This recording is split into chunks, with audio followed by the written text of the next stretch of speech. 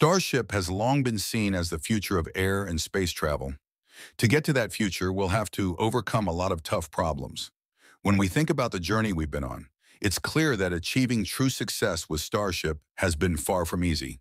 What makes this goal so difficult to achieve? Let's talk more about it in today's episode of NR Studio. Beginning in the early 2010s, Starship was envisioned as an incredible spacecraft that could carry people and loads of cargo to places like the Moon and Mars. The goal was not just to reach these far-flung places, but to do so in a way that would allow the spacecraft to be reused. This would make space missions cheaper and more frequent, changing the way we think about space travel. From the beginning, the idea has fascinated people everywhere. Starship promised to make things better. SpaceX has made great strides toward its goal, but the journey has been much harder than many expected. It's still a challenge to match the reliability and consistency of SpaceX's Falcon 9 systems. Every Starship test flight has uncovered new problems. Some problems can be fixed immediately, while others resurface on subsequent flights. It's natural for a major development program to make some changes along the way. However, persistent problems like engine failures, fuel leaks, and pressurization issues indicate that many parts of the system are still weak and need further refinement. Why is it so hard to build Starship, right? The reason is its complex design. Starship is more than just a rocket. It's a complete system with high demands. It must launch, handle the harsh conditions of space, survive rapid reentry, and land on Earth or another planet. For all of this to happen, the spacecraft needs to be designed with great care. It has more than 20,000 heat shield tiles, numerous pipes for fuel and oxidizer, more robust tanks, modern electronics, multiple Raptor engines, and additional struts to handle the intense forces. Even just looking at the engines, the complexity is clear. Each Raptor engine operates in a closed cycle and uses methane and liquid oxygen as fuel. The cryogenic fuel works at very low temperatures and high pressures. These engines are among the most sophisticated ever built. These engines are powerful, but they're complicated, which means there's not much room for error. With 33 engines on just the Super Heavy booster, the chances of failure increase dramatically. SpaceX has addressed this problem by focusing on making things simpler. Musk has always believed that the best option is to have no components at all. The company is always looking to improve by removing unnecessary components, making things simpler, and making sure they work better together. This strategy has influenced everything from the Raptor engines to designs like the hot staging ring. We've seen this happen as Raptor 1 turned into Raptor 2 and now into Raptor 3. Each time we repeat the process, the results are better, stronger, and easier to build. Raptor 3 is so well designed that it no longer requires a separate heat shield. Instead, the engines rely on their long-lasting power and better cooling to handle tough flight situations. Simplifying something can introduce new risks.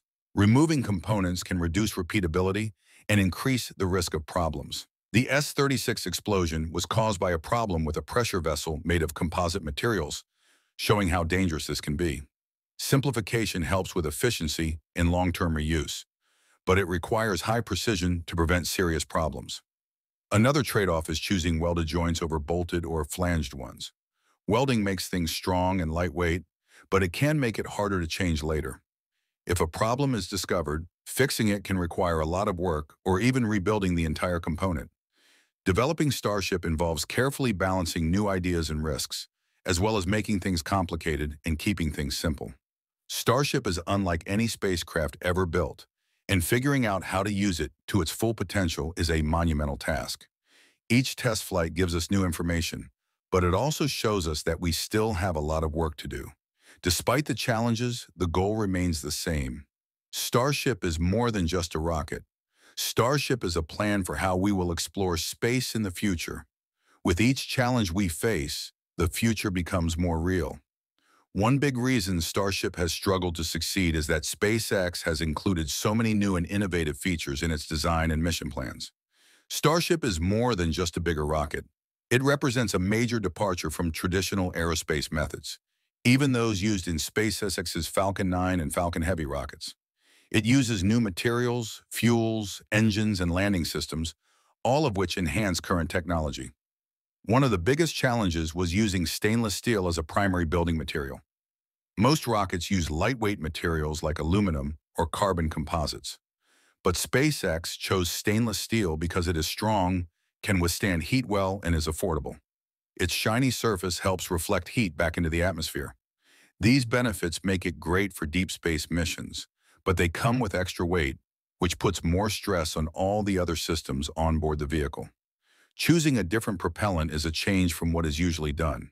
Starship uses liquid methane and liquid oxygen, called Methalox, instead of the RP-1 kerosene or liquid hydrogen that most other rockets use. Methane burns cleaner and is easier to store for long periods. This could be a big help for long missions or future refueling on Mars. But creating an engine that can consistently use this fuel is a major challenge. The Raptor engine is one of Starship's most advanced and interesting parts. It runs on a full-flow, stratified combustion cycle, making it more efficient than a regular engine.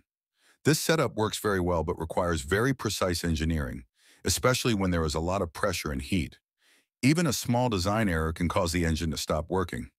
Complicating matters is Mechazilla, a system with a robotic arm on the launch tower that is intended to capture boosters and upper stages, rather than using landing legs.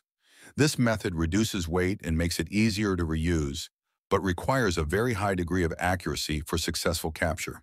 SpaceX has had success with booster capture, but upper stage capture is still untested and risky. This was highlighted by a recent attempt during the sixth flight that didn't go as planned. Fuel management is also important because both parts of Starship are reusable. They need to have enough fuel not only for launch and stay in orbit, but also for safe descent and landing. This puts a lot of pressure on flight planning and system performance, especially during long-haul missions. One of the biggest goals of Starship is to refuel in space. This idea involves sending Starship tankers into space to deliver fuel to vehicles on missions. While it's important for traveling to places beyond low Earth orbit, it also poses a difficult problem. Launching multiple tankers quickly, docking a large vehicle in low gravity, and safely transporting super cold fuel. No one has done this on a large scale before, and it will take a long time to learn. Thermal protection is another big challenge. Starship has many hexagonal heat shield tiles to protect it during reentry. Starship is equipped with thousands of hexagonal heat shield tiles to help it survive reentry into the atmosphere. These tiles must remain securely attached throughout the mission, but previous flights have shown problems with them cracking and coming loose. Losing even a small tile can damage the vehicle. Plus, reinstalling and realigning them takes a lot of time, making it harder to use them all again quickly. One of the biggest challenges to Starship's success isn't just the spacecraft. It's the harsh conditions on Earth and in space. These are natural challenges that every rocket has to face, and they make it difficult to achieve full reusability and reliability in operation. Earth's atmosphere is one of the main issues we face, it helps keep life safe by blocking radiation and space debris, but it makes it difficult for spacecraft to pass through it. Passing through this thick, layered atmosphere requires a lot of power and precision. While Starship is big and powerful, it still has to follow the basic rules of physics that apply to all rockets. Musk has said that a typical rocket can only send about 2% of its weight into space. SpaceX wants to double that number by making Starship 4% more efficient. This has never been done before, but making it happen will require continuous improvement, testing, and new ideas. Leaving Earth is just the beginning. Returning from orbit is even harder. The Super Heavy has already landed successfully with the help of the Mechazilla system. Now, Starship's upper stage will need to return through the atmosphere, which means it will have to endure much faster speeds and much hotter temperatures. To cope, Starship has more than 18,000 hexagonal ceramic tiles that form a heat shield. These tiles must remain intact and aligned properly during the rough fall. Even a single problem or broken tile could jeopardize the entire mission. SpaceX has added a cooling system to make things safer, but getting the system to work well over multiple flights is a major challenge. The difficulties increase when Starship has to land on another planet or moon. Mars has an atmosphere, but it's very thin, so it doesn't do much to slow the object down as it enters. The moon doesn't have an atmosphere, so the rocket has to control the entire landing itself. The varying gravity, surface conditions, and changing terrain make landings extremely difficult. Even a small mistake can cause a mission to fail, especially for a vehicle as large as Starship. Managing fuel makes space missions even more complicated. In order to land and return, Starship needs to have enough fuel for each part of the mission. This includes ascent, orbiting, landing, and possibly even returning. For long missions, you need to plan carefully and work very efficiently. To fix this, SpaceX is working on refueling in space. This system sends Starship tankers into space to deliver cryogenic fuel to the main vehicle. How to do this is crucial for getting to places like Mars, but it also brings a whole new set of problems. Docking a large vehicle in space, accurately aligning fuel transfer ports, and safely handling hazardous fuel has never been done on this scale before. It's still one of the riskiest and least proven parts of Starship's mission design. Taken together, the challenges beyond that along with the stringent requirements for reusability, deep space operation, and long-term reliability, are why Starship's journey is so challenging. While we've made significant improvements in design, hardware, and testing, there's still a long way to go. But these challenges are also what make the Starship program so exciting. Overcoming these challenges will result in a game-changing rocket. Starship is fully reusable and can travel beyond low Earth orbit. This will enable more people to explore space and help make space travel better for the environment. Setbacks should be viewed as important learning curves, not failures. SpaceX has shown that they can learn, adapt, and improve. From the early Falcon 1 issues to the incredible success of landing boosters and reusing them quickly, every challenge we face today helps us achieve more in the future. Starship is not just another rocket. Starship represents a new way of thinking, being driven by ambition, trying new things, and always wanting to improve. There are no promises, but there are many possibilities. When Starship can do everything it is supposed to, it will show all the risks taken, lessons learned, and challenges faced along the way. That's it for today's episode. See you in the next episode, and thank you all for your support.